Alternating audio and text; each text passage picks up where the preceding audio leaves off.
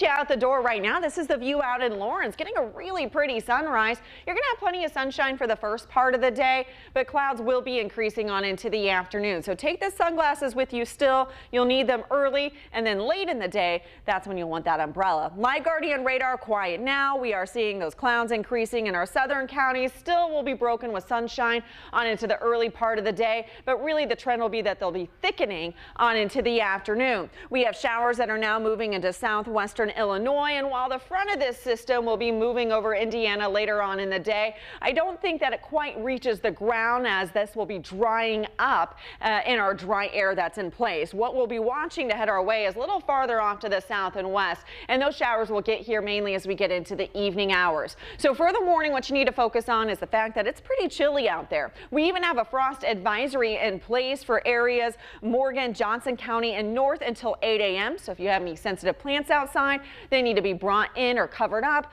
Also a sign that if you parked outside, you are possibly going to need some to scrape some frost off your windshield, so allow a little extra time for that as well. The temperature in Indianapolis not quite at frosty levels yet. We're at 39 degrees. We need to get to 36 and lower to get those conditions.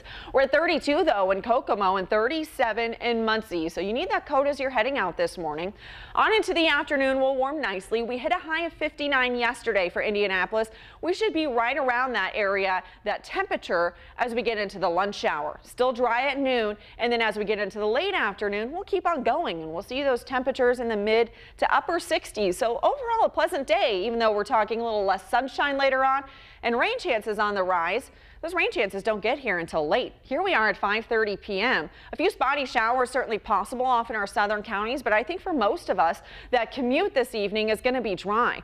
As we get towards 8 o'clock, though, we have a more favorable chance for showers off in our southern counties. All of this continues to lift north as we head through the evening. This is 11.30 p.m., and we'll keep scattered showers around and the possibility of a few thunderstorms on through the overnight hours on into early tomorrow morning. This is 7 a.m., and it's not until tomorrow tomorrow afternoon that we really start to see these showers pulling their way on out. But even then, a few spotty showers will be possible tomorrow afternoon, too. Any thunderstorm activity that you may hear overnight, just know it's going to be non-severe. Your garden variety thunderstorms out there.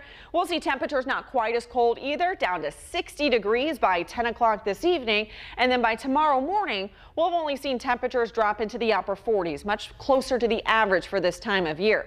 Those showers around tomorrow mainly early, looking at a high of 62 tomorrow afternoon up to 67 on Saturday. We bring back rain and storm chances on Saturday, but not until the afternoon and evening. And as we get into Sunday and Monday, we'll have the chance for some hit and miss showers too.